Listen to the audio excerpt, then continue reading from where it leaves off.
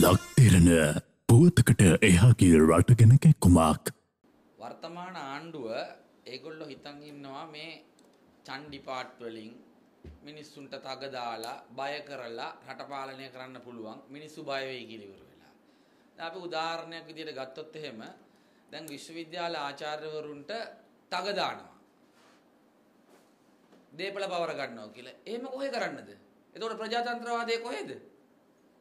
විශ්වවිද්‍යාල ආචාර්යවරුන්ගේ සහ ගුරුවරුන්ගේ සේවයට අ, ප්‍රශ්න පත්‍ර ඇගීම අ, අනිවාර්ය සේවාවක් බවට පත් කරලා ගැසට් එකක් ගහනවා නම් ඒක වෙනම කතාවක්. හරිද? දීපල පවර ගන්නවා කියලා තර්ජනය කරන්න බෑ.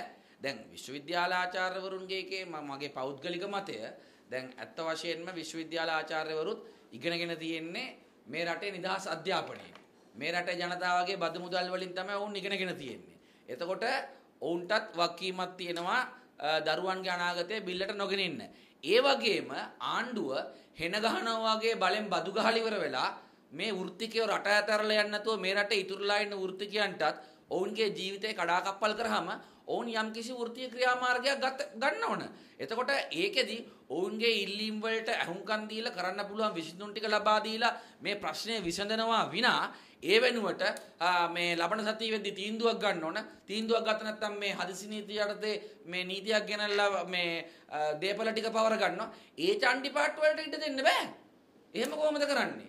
දැන් අනිත් පැත්තෙන් ඒක එක පැත්තකින් එක චණ්ඩි පාට් එකක්.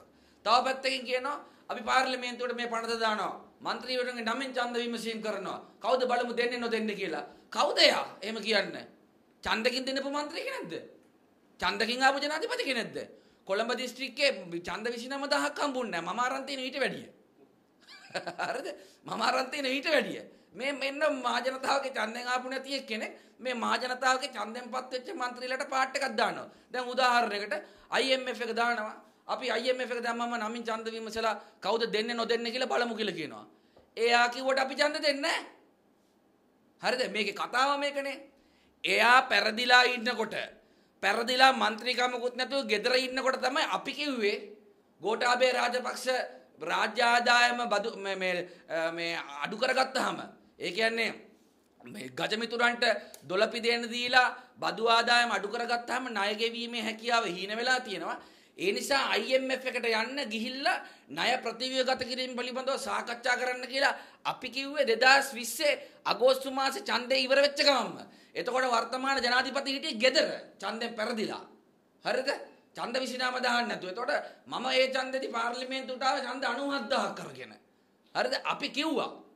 ඒ නිසා අපි ඒ වෙලාවේ කියපු වෙලාවේ ගියා නම් මේ වගේ දරුණු කොන්දේසි වලට එකඟ වෙන්න ඕනේ නැහැ. මොනවද දරුණු කොන්දේසි කියලා කවුරු හරි අහුවොත් මේ IMF එකට මේගොල්ලෝ දැන් මේ පාර්ලිමේන්තුවට මේක දැම්මට ජනාධිපති කාර්යාලයේ කිචන් කැබිනට් එකේ කට්ටිය සාකච්ඡා කරලා ඉවර වෙලා ඒගොල්ලෝ මේ පත්‍රිකා හදලා ඒගොල්ලෝ මේ ඇ- ඇ- ගිවිසුම් ගහලා අපට එවනවා මේකට අත උස්සන්න කියලා. අපි පඹයෝද? අපි හන්න අපි පඹයෝද කියලා. පෝට්ටුවේ උන්ට කොන්ද පන නැති වුණාට අපිට කොන්දක් තියෙනවා. ඉතින් ඒ නිසා මේ විදි- මේ මේ හොර රහසය සාකච්ඡා කරපු අ, ඒ සාකච්ඡා කරලා හොර රහසය ගිවිසුම් ගත වෙලා මේ වැඩි කරපු විදුලි බිලට අපි විරුද්ධයි. මේ ප්‍රමාණයෙන් වැඩි කරන්න බෑ. ඒ වගේම මේ දාලා තියෙන බදු ප්‍රතිශතය වැඩි. අපි විරුද්ධයි. අය නිසා අපිට ඒකට සහයෝගය දෙන්න බෑ. IMF යා යුතුයි. හැබැයි IMF එකත් එකඟ වෙන්න ඕන අපේ රටේ මිනිස්සුන්ට දරා ගන්න පුළුවන් දේවල්. දැන් බදු ගහන එකයි විකුණන එකයි තමයි මේගොල්ලෝ IMF එකත් එක්ක මේ කරලා තියෙන්නේ. අපි කියන්නේ ඒක වැරදි.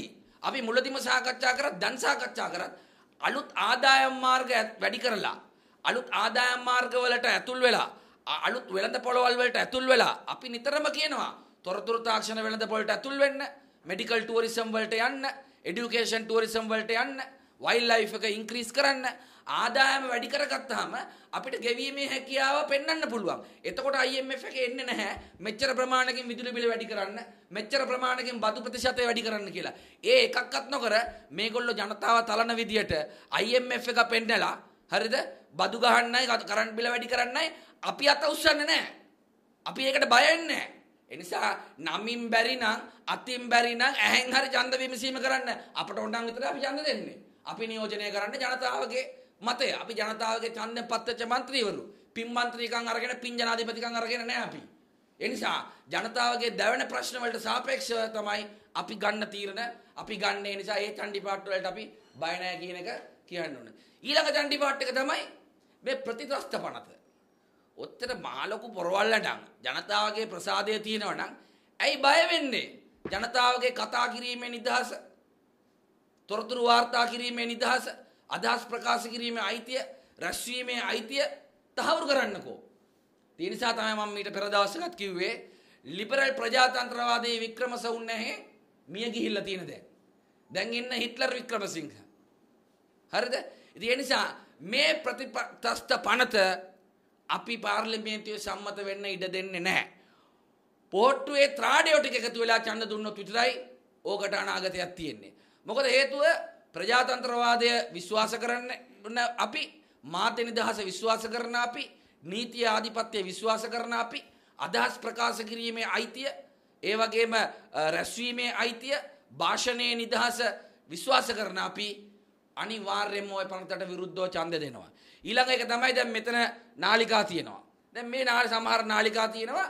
දැන් අපිව දාන්නේ මම රටේ ප්‍රධාන විපක්ෂයේ මාධ්‍ය ප්‍රකාශක මේ සමහර නාලිකා තියෙනවා ඒගොල්ලන්ට විරුද්ධව කතා කරා කියලා අපිව දාන්නේ නැහැ. ඔන්න ඒගොල්ලන්ගේ මාධ්‍ය නිදහස. හැබැයි ඒගොල්ලෝ එහෙම කරත් ඒගොල්ලන්ගේ අයිතිය වෙනුවෙන් අපි පෙනී හිටිනවා. ඒ මාධ්‍ය ආයතන අයිතිය වෙනුවෙන් අපි පෙනී හිටිනවා. දැන් මම විපක්ෂයේ නිල මාධ්‍ය ප්‍රකාශක රටේ ප්‍රධාන විපක්ෂයේ. එතකොට මම පක්ෂයේ මතය ප්‍රකාශ කරන්නේ. එතකොට ඒක පෙන්වන්නේ නැහැ. මොකද හේතුව ඒගොල්ලන්ගේ ඔය එක එක බිස්නස් අරව මේවා එලි කරලා විවේචනය කරා කියලා ඉවරලා. හරිද? ප්‍රශ්නයක් නැහැ. ඒක ඒගොල්ලන්ගේ භාවිතාව. හරිද? හැබැයි ඒගොල්ලන්ට අපිව වරද්දන්නත් බෑ. ඒගොල්ලෝ මේ රට ඇතුලේ හදපු ජාතිවාදය නිසාම අපි හැමදාම ජයග්‍රහණය කරනවා. ඒක වෙනම කතාවක්. හරිද? නමුත් ඒගොල්ලන්ට අසාධාරණයක් වෙන මේ ප්‍රතිත්‍රස්ත බණත අපි පරාජයටපත් කරනවා මාධ්‍ය ආයතන වල නිදහස වෙනුවෙන් අපි පෙනී හිටිනවා. පුළුවන් නම් පුළුවන් නම් දාන්න. හරිද? පුළුවන් නම් දාන්න. කොන්දක් තියෙනවනම්. හරිද?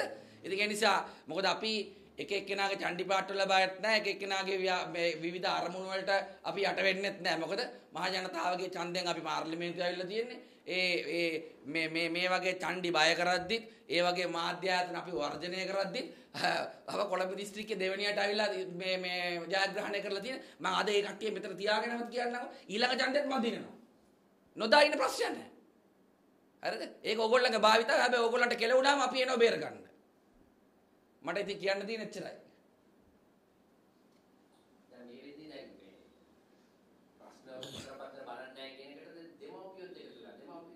පාරට එනවා.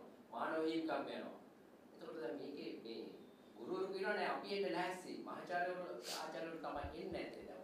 ඔබතුමාලගේ පක්ෂයේ මතය ඔවුන් පැමිණ මෙය බැලිය යුතුයි කියන එකද? නෑ බැලූ බැල්මට ඉතින් මේක තේරෙනවනේ මේකේ මේකේ දෙපැත්තෙම ප්‍රශ්නයක් තියෙනවනේ.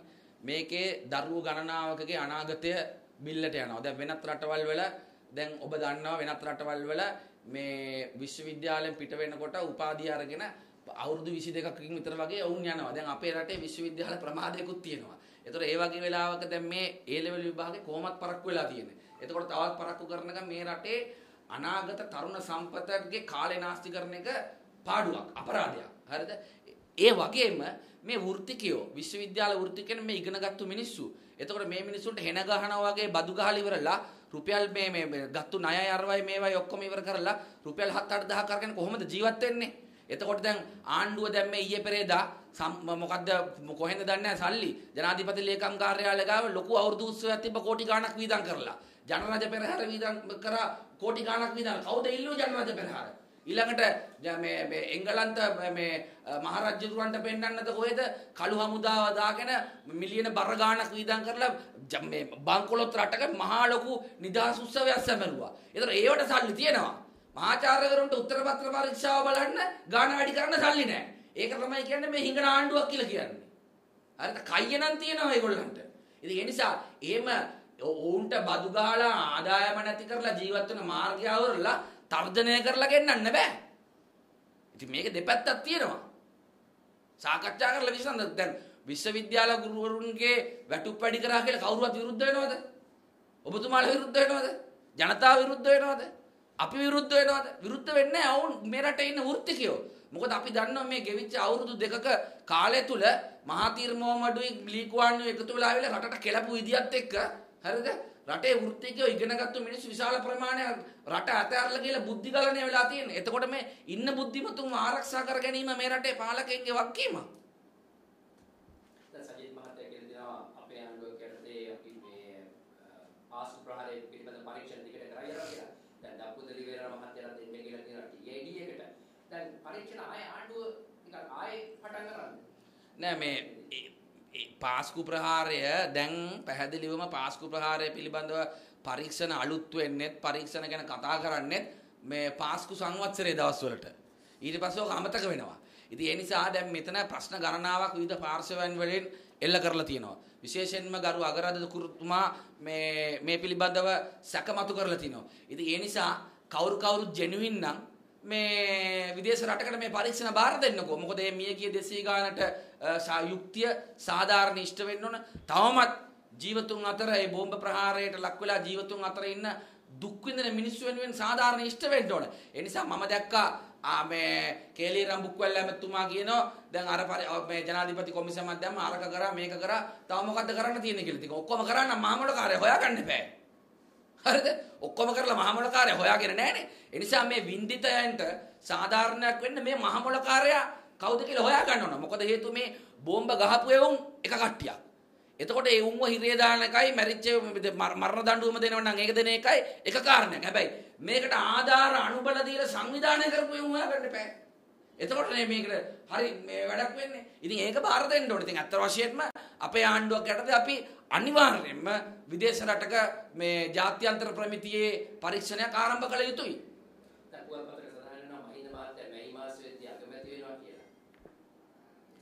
ඒ ඒ- තිරය පිටුපස්සේ එහෙම ජවනිකාවක් යනවා මොකද මේ අප්‍රේල් 22කට කොහෙද මේ ග්‍රහමාරුවක් තිබිලා තියෙනවා. ඒකේ මහින්ද මහත්තයාගේ ග්‍රහය හොඳයිලු. රනිල් වික්‍රමසිංහ මහත්තයාගේ ග්‍රහය අපලයිලු. ඉතින් මහින්ද මහත්තයා 150ක් ග්‍රහචාර විශ්වාස කරලා 150ක් දේශපාලන විශ්වාස කරලා පොඩි ගේමක් ගන්නවා. හරිද? ඉතින් මේ මේකේ එක දෙයයි මට පේන්නේ අමුයෙන්ම කිව්වොත් ඕම ගිහිල්ලා ගිහිල්ලා දවසින් දවස දැන් මහින්ද මහත්තයත් එක්ක අනිවාර්යයෙන්ම 50ක් විතර සෙට් වෙනෝනේ. දැන් මේගොල්ලෝ කතාව හදනවා මහින්ද මහත්තයාට ගෞරවාන්විත විශ්‍රාමයක් දිවියක් ලබා දෙන්න ඕන කියලා අගමැතිකම දෙන්න කියලා. දිනේෂ් ගුණවර්ධන ලොක්කා ඉන්නේ බය ගැහි ගැහි. කොයි වෙලේ මේකට කෙලවෙයිද කියලා ඉවරලා. ඉතින් ඔහොම ගිහිල්ලා ගිහිල්ලා වෙන්නේ මොකක්ද දන්නවද? ආණ්ඩුවට පාර්ලිමේන්තුවේ බෞතරේ නැති වෙලා මහා ඡන්දයක් කෙනෙක් තමයි වෙන්නේ. දැන් මේදී දැන් පක්ෂයේ මේ සභාපති හැටියට හාමුදුරු කෙනෙක් පත් කරගත්තේ ඒකේ මාර්ගයක් සු- සුදුසුම තීරණය අරගෙන තියෙන ඒගොල්ලන්ට. මොකද ජාතිවාදී පක්ෂයකට මේ රටේ ජාතිවාදය ඇති කරලා නයි පෙන්නලා පැණි පෙන්නලා හරිද ජාතිවාදයේ මවපු කට්ටිය සුදුසුම වැඩක් කරගෙන තියෙනවා. ඉතින් ඒක රටට ඔබිනද නැද්ද කියන එක තවම තේරුම් ගන්න දැන් මෙහෙමනේ දැන් මම දැක්ක නාමල්කාරය අයියේ පෙරේද කියලා තියෙනවා මේ මෙහෙමයි ක- අරගලයක් ආවා තමයි අපිට චෝදනාව තමයි අපි බය හැංගුන්නේ නැහැ කියලා. මතක නැතිව ඇති මහින්ද මහත්තයා කියලා ත්‍රිකුණාමල නේවි කැම්ප් එකේ හැංගිලා හිටියේ. හරිද?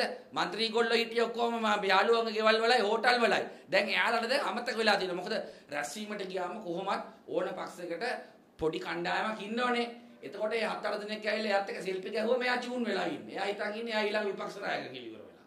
හරිද? ඉතින් කියනවා මේ මෙවරමයි රැලිය විශාලකම් මේ රැලිය උපා ඉතින් මෙහෙමනේ බැයි රැලිය පවත්වන එක මහ වැඩක්ද? මොකද හේතුව අපේක්ෂක 8000ක් ගණක් ඉන්නවනේ ප්‍රාදේශ සභාවට ඡන්ද ඉල්ලන.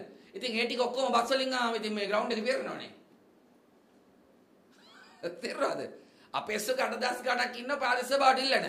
එතකොට දැන් ඒ ටික ඔක්කොම දැන් ආසනයකින් ඉන්නවා මේ අපේක්ෂක 70ක් 80ක් ඉන්නවා. බස් දෙකක් පුටින් ගෙනාව නම් හරිද? ඒගොල්ලන්ට වීදා කරන්න සල්ලි තියෙන ඕන තරම් නේ? පරණ සල්ලියම සෑහෙන්න තියෙනවා. ඉතින් තමාගේ බලය රැක ගැනීම සඳහා ඕන තරම් වියදම් කරයි. හරිද? මම අද කිව්ව කියලා තියාගන්න. කැම්බල් පිටියේ ඒගොල්ලෝ මේ මාකි තුනක් ගහයි. ජර්මන් මාකි තුනක් ගහලා ඩ්‍රෝන තුනක් දාලා ප්‍රොඩක්ෂන් එක ඒගොල්ලෝම කරලා ක්‍රවුඩ් ෂොට් ටිකක් පෙන්න. ඉතින් මා වැඩක් දෝක. දැන් නමල් වාදේ තවත් කියලා තිබ්බා මේ ඇත්තටම යහපාලන කාර්ය තමයි මේ රටේ කඩාවැටි මාරම් වල කලේ කියලා ජනාධිපතිතුමාත් අහන් ඉන්නවා ඇත්ත නෑ ඉතින් ඒක එයා අපිට කියලා වැඩක් නෑනේ. යහපාලනේ අපේ පක්ෂේ නායක රනිල් වික්‍රමසිංහ. එයාලව එකතු කරලා ආරක්ෂා කරන්නේ මේගොල්ලෝ. අපි නෙමෙයි එයා කියලා රනිල් වික්‍රමසිංහට කියන්න ඕන. දැන් නමය නමය සමහරුන්ට නපුරු වුණා සමහරුන්ට හොඳ වුණා නමය දැන් නමය කියන්නේ විමල් මහත්තයා මේ නොකියූ කතා කියනවා කියන පොතක් ලියලා තියෙනවා දැන් මේ පොතේ ඇතුලේ මොනවද තියෙන්නේ කියලා දැක්කා ඔයා දේශපාලනේ පරිණතකෙක්ද මොනවා කියලා ඇද්ද මට පෞද්ගලික නම් සත පහකට වැඩක් නෑ. නමේ ඔහුට බලපාපයට දන්නේ නැති. මට පෞද්ගලික සත පහකට වැඩක් නැහැ. දැන් මෙහෙමනේ. එයා තමයි කිව්වේ මහතිල් මොහමඩුයි ලිකුවාන් එකතු වෙලා එන්නේ ගෝඨාභය එනකොට කියලා. මේ රටේ ජාතිවාදය ඇති කරන්න, නයි පෙන්නලා රවට්ටන්න, පැණි පෙන්නලා රවට්ටන්න, හරිද? මේ රාජපක්ෂලාගේ දූෂිත පාලනය මේ රට තුල සමාජගත කරන්න මහින්ද සුළඟගේ ගේන්න ඕන කියලා කරලා කරලා ඒ වගේම ගෝඨාභය වගේ බූරුවෙක්ව වීරයෙක් කරලා ගෙනල්ලා ඒ හැම එකේම පාර්ශවකාරයෙක් විමල්. අත හොද ගන්න බෑ දැන්. විපක්ෂේ හිටියා කියලා ඉවරලා. ඉතින් මං ඊට වැඩි කියන්නේ නැහැ.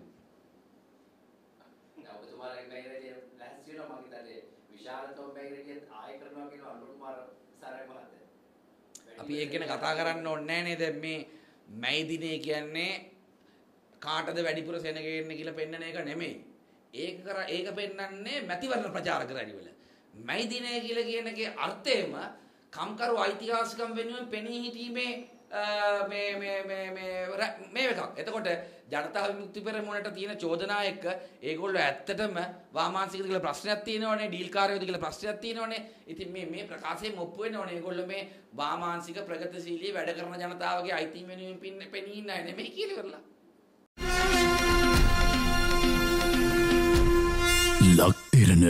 පුවතකට එහාගේ රටගෙන කැක්කුමක්.